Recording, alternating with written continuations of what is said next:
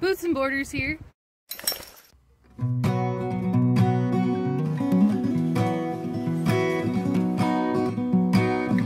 Going for a car ride? Just a stop here in Orangeville uh, at a Canadian Tire to pick up some things uh, that we need to get, propane being the biggest thing. Floyd says, why have we traveled two and a half hours to be parked in a parking lot? So we're in another parking lot. This is the third parking lot. Uh, there's a propane shortage. So we're hoping to find some here at the Walmart. Where are we? Walmart. Why are we here? We're out of propane.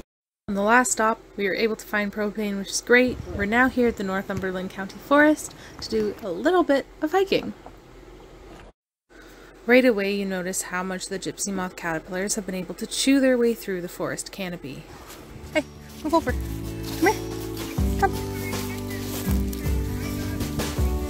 Okay, he's not used to horses. He hasn't really seen them before. First time seeing a horse that close. I was too handsome. right, because of the dog training, I know not to like pull back on him because I feel like that would have made things worse. It's kind of weird because you want I wanted to like pull him back, but then I'm like, nope. hey, how are ya? Good, good. Ah, is it okay if I film or are you guys? I gotta. Okay, awesome, thanks.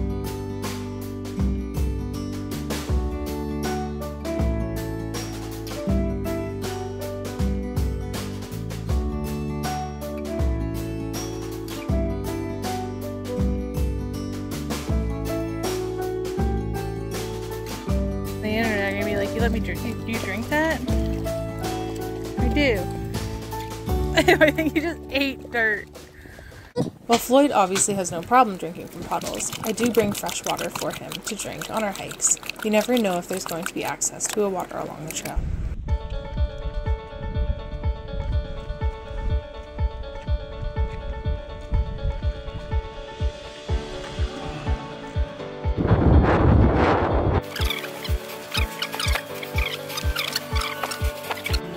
A lot of up. I don't know how you're so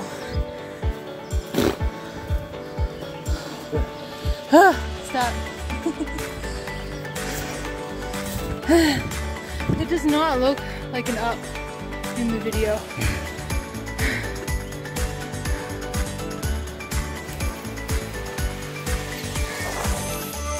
So with the carabiner here on my pack, um, I found that it's actually really helping because my hands can be free, which is helping me maintain my balance while on the trail.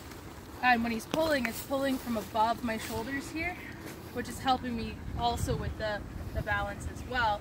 Um, I've tried it before where I've had him hooked on my either my belt strap or if I'm wearing belt loop and buckles, but I think with that, yeah, again, it's throwing me off balance. So this is helping in terms of the balance, and then it's also helping with just his setup that he has with his uh, prong collar. And I haven't talked about the prong collar before, but he wears it specifically because he actually, uh, as a rescue, uh, came to me with um, a, a, um, a problem with his throat and with his esophagus.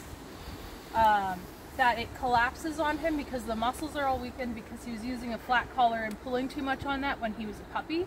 So the prong collar stops him from pulling and adding extra damage to uh, that weakened muscle structure in his throat. So by having it up higher, it keeps it at the proper angle to close down the, the loops and I'll take that off and I'll show another video of how that works um, to keep him from pulling. Obviously he's not pulling right now, he's pretty tired, but um, he does pull, especially when there's like a fun scent in the, in the trees or, or whatnot. I realized here that the leaves were back on the trees and that there were several dead gypsy moth caterpillars on the ground. This could indicate the NVP virus attacking the gypsy moth caterpillar population in the area.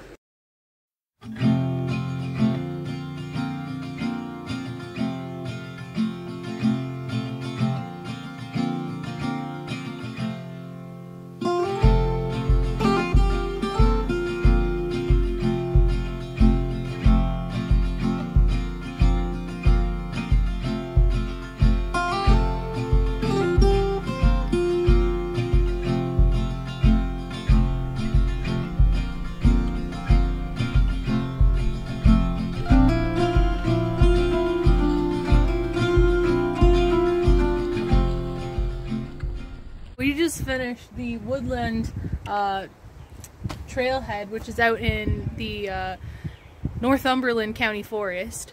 Uh, so we did the uh, we did the Black Oak Trail, and then we also added on Lookout Mountain. So it came to about uh, 10 kilometers, and we did that in about three and a half hours. Uh, it was pretty good. The trail itself um, is shared with like horseback riders, and there's a few sections with like ATVs that were really well monitored.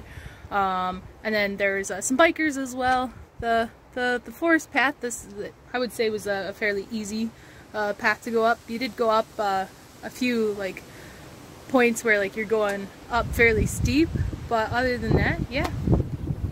Here I'm unpacking my Woods four person tent. I like this tent as a car camping option.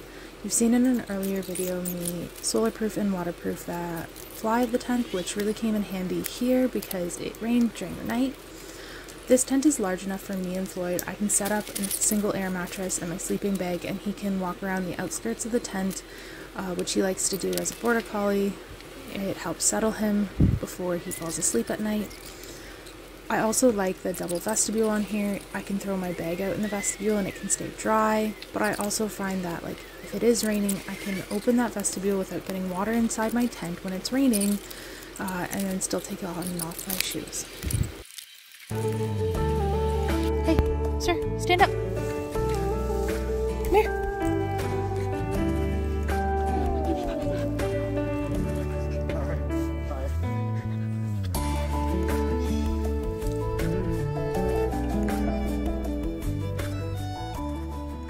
After we had the site set up, we went and checked out the beach at Presqu'île Provincial Park. This beach outlooks Lake Ontario. I really had fun time watching the rocks, listening to the waves. It was quite a view. Thank you.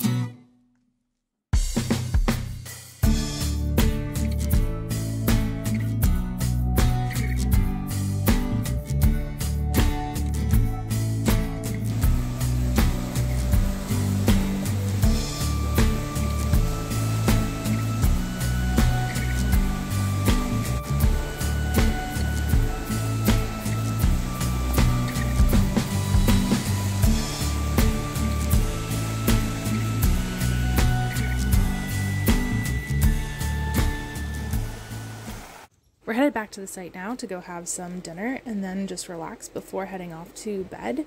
It's been a long day and we have another long day tomorrow, so I hope that you've enjoyed this video and I hope that you will watch part two, which will be coming out shortly.